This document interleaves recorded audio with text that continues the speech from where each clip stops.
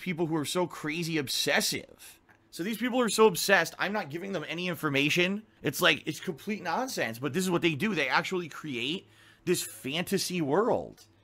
I mean, that's insanity. That's not healthy. That's sickening. That's like mental illness.